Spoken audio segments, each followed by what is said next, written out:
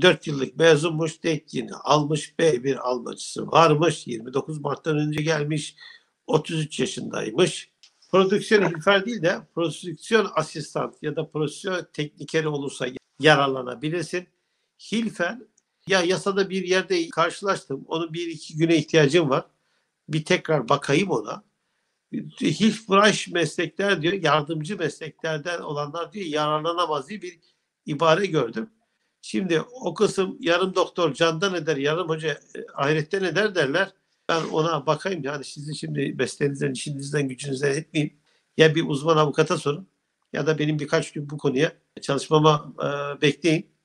Ben bir de avukatıma sorayım. Ondan sonra tekrar değerlendirelim bu konuyu. Ama nitelik olarak yasanın şartlarını taşıyorsun ama prodüksiyon hilfer değil, prodüksiyon asistan ya da prodüksiyon tekniker olursan olur.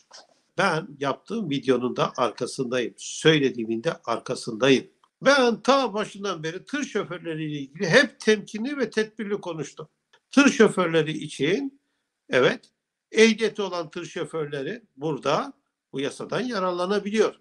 Ama ehliyetlerini Alman ehliyetine de çevirmesi gerekiyor. Eğer sen bu çevirme kelimesini anlamadıysan senden zaten tır şoförü de olmaz. Ta tır şoförleriyle ilgili ilk yaptığım videodan bugüne kadar hep aynı şeyi söyledim. Dedim ki evet tır şoförleri, kamyon şoförleri, otobüs şoförleri, C ve D sınıfı ehliyeti olanlar bu yasadan yararlanıyor. Birinci kural bu. Ama Almanya bu tır şoförleri ehliyetini Alman ehliyetine çevirmeleri gerektiğini far kartı, takometre ve İHK kartı dediğimiz SRC 3, SRC 5 neyse İHK kartı almaları gerektiğini ben bütün videolarımda anlatıyorum. Ta başından beri anlatıyorum.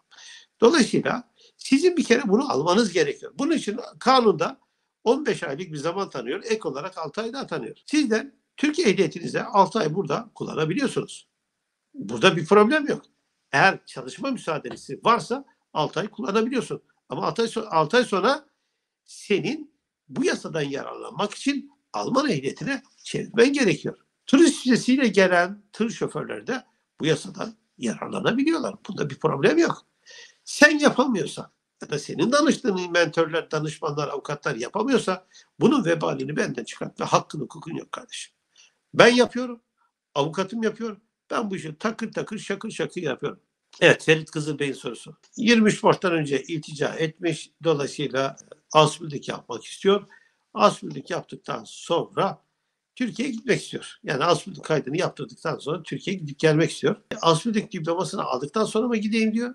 Asbillik arasında da yani asbillik kaydını yaptırdıktan sonra da Türkiye'ye gidip gelebilir miyim diyor.